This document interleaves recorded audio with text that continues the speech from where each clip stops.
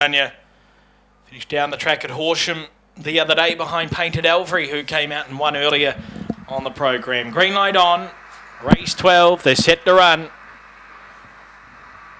And they're off and racing now.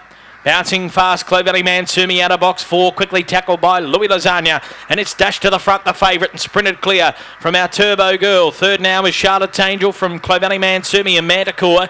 Then Manzine Magic, Blackpool Alexis, and Bushman's Billy, but it's all Louis Lasagna in the early part of the straight. It's sprinted away, and Louis Lasagna, a big winner, beat our Turbo Girl and Manticore. Clover Valley Mansumi fourth from Charlotte's Angel, Blackpool Alexis, Manzine Magic, and Bushman's Billy. The time here, 21.96.